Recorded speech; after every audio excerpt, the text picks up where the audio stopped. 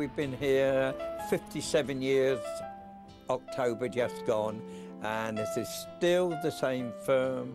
My wife, my son, his wife, and myself. That's something nowadays, yes, as you say. yeah, oh yes. No, we're still the same people. We've had our ups and downs, many downs as well. The shop behind us here, number 25, Tanners Hill, we took that over in 1955. As the time went on, we had three shops and we had 18 staff just building special lightweight frames.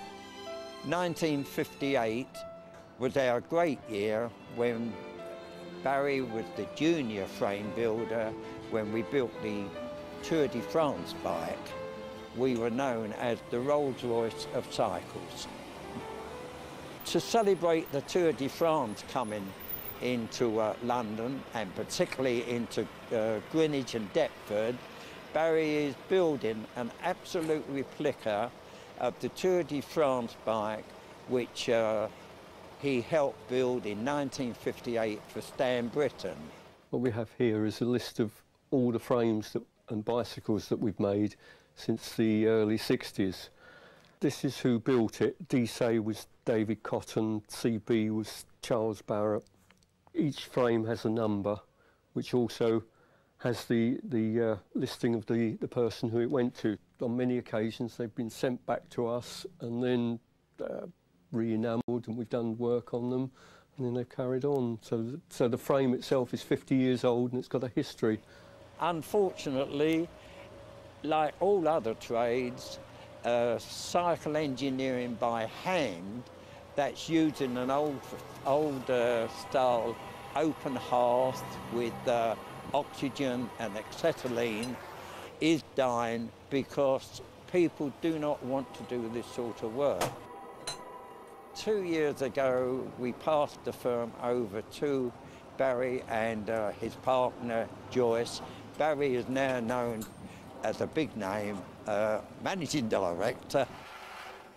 However, both Lily and I refuse to lie down and I still do the finance side and Lily helps me.